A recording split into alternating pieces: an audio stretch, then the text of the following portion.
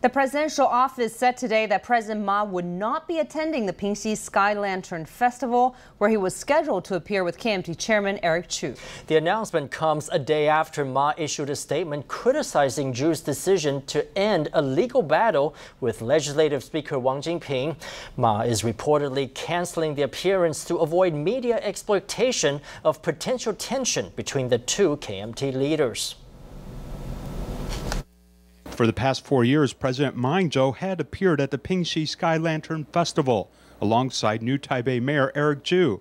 But yesterday he had decided to cancel his appearance as he worried an appearance with Eric Chu could result in a media circus by some news outlets. If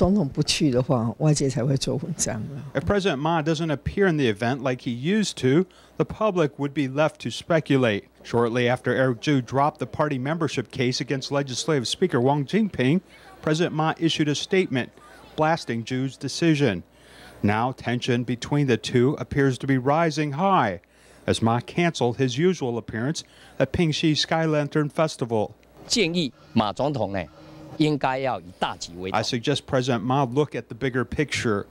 Although the party membership case makes him feel uncomfortable, his emotional reaction has seriously sabotaged party unity and discredited party chairman Eric Chu's effort in handling party affairs. Despite the cancellation of his appearance at the event, President Ma Ying-jeou will meet Eric Chu on Monday at a party caucus meeting and is also expected to attend a seminar on executive and legislative practices with Chu and Legislative Speaker Wang Jin-pyng later the same afternoon.